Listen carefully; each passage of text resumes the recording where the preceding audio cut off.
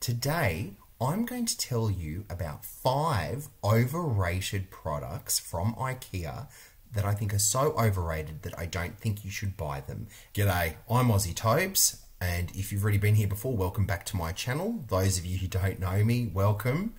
I'm a bold Australian interior designer. Okay, so five overrated products from IKEA. If you like the content, please hit the notification bell and like and subscribe. I really appreciate it. Thanks very much. So let's get into it. Five overrated products from IKEA. Number one on my list kitchens. IKEA kitchens are not worth the money you spend on them. I have this conversation all the time with clients, and I have this conversation all the time with tradespeople. And everybody seems to be in this sort of consensus of not but wanting to buy an IKEA kitchen. Now, don't get me wrong, when you go into the IKEA showroom, the kitchens look amazing. They are fantastic.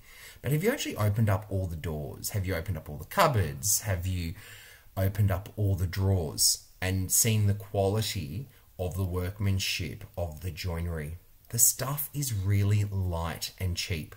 And therefore, in my professional but also personal opinion, it isn't sturdy and it is not durable.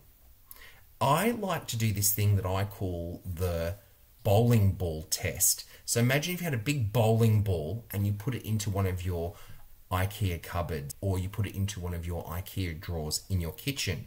Now, of course, you're not going to put a real bowling ball in your kitchen, but it will give you a bit of an indication of how durable and sturdy these IKEA kitchens are, or really aren't.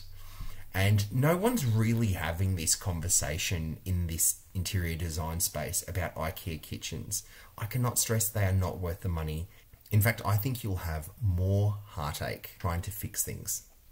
The second overrated product that I will tell you not to buy from IKEA are floating cabinetry and floating vanities. Like the kitchen cupboards, they too are really, really flimsy. They are not durable and they are not sturdy.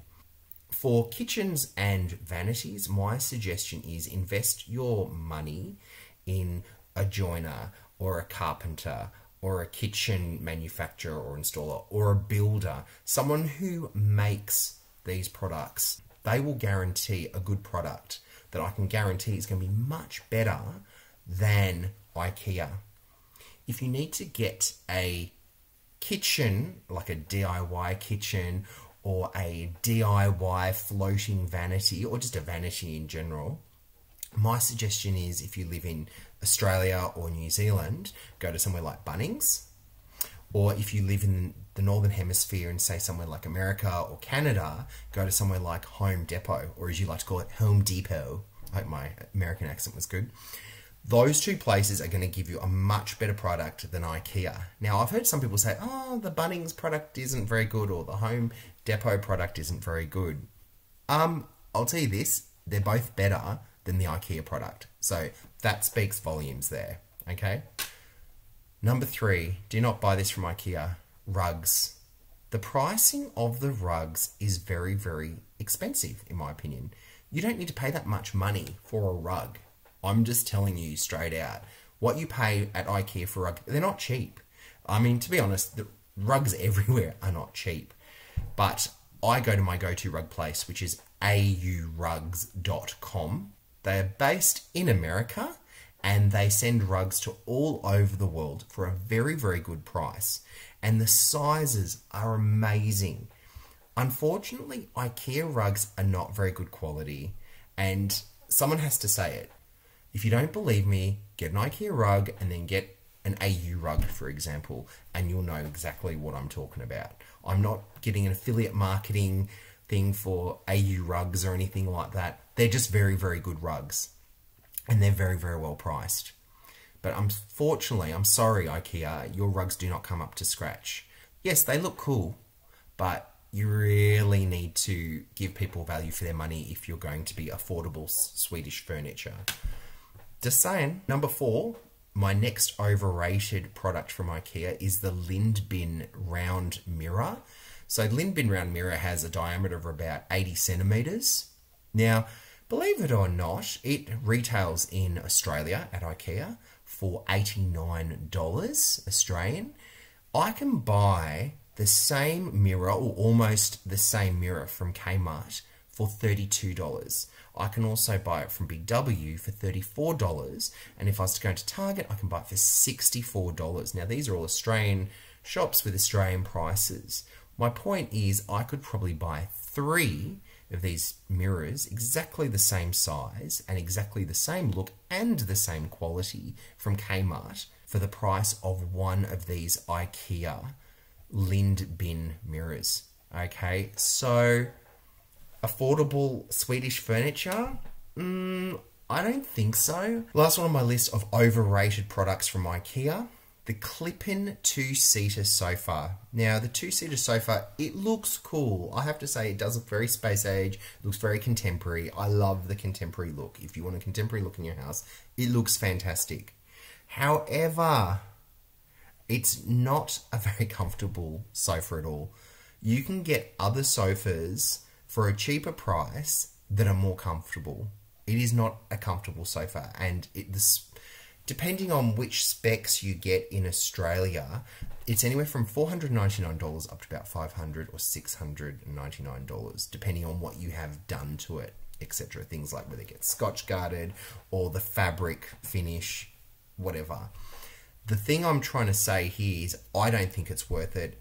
It's not a comfortable couch, and I'm sorry, you can get better stuff at other shops. You could get walk into Fantastic Furniture or Amart and spend four hundred and ninety nine dollars, or a bit more than four hundred nine dollars, four hundred and ninety nine dollars, and actually get a better product. I'm sorry, IKEA. You need to like lift your game here.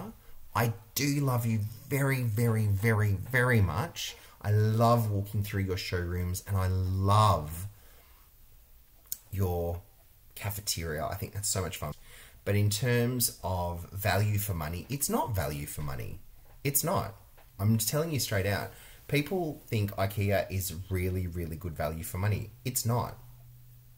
And it's upsetting because I really, one stage, my wife and I had really strong loyalty to IKEA. And then, nah, we found like people, oh, yeah, nah. We found the local stuff, like Australian made, was so much better. I was talking to a Swedish friend recently, and they were saying even we don't buy IKEA in Sweden. They said it's very convenient for things like apartment living, and you know if you're living somewhere for the short term, IKEA's got some really good little tricks and nice things up your sleeve to put in your tiny little apartment. But they said for the most part, and I've I've always said this: the value there is no value for money.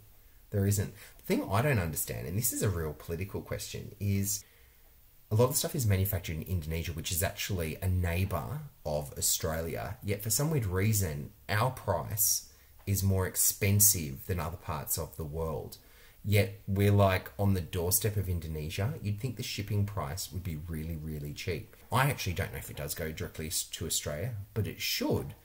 I think IKEA really needs to look at the Australian market and price it properly.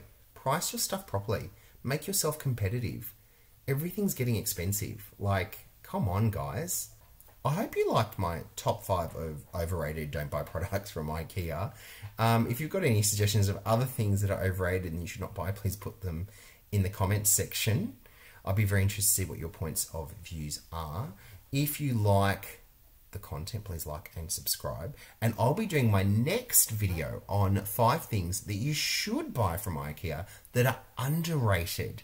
So five underrated IKEA products. That will be my next video. And I look forward to seeing you next time.